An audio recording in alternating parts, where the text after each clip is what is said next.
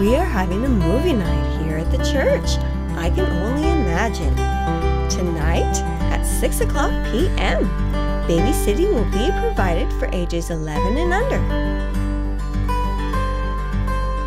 It's Super Bowl Sunday, next Sunday, February 3rd at 10:30 a.m. Wear your favorite jersey for your team. The next ladies Bible study will be on Thursday, February 7th at 10:30 a.m. Invite friends. Refreshments will be served. The next men's breakfast is coming up in February.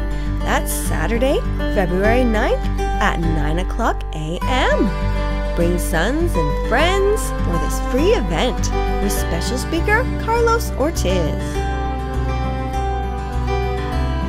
Save the date for a couples dinner on Sunday, February 17th. Sign up in the lobby today. End of the year giving statements are available in the lobby today.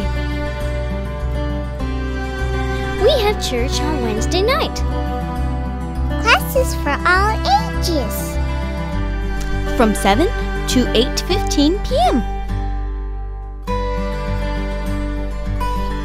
time for children's church.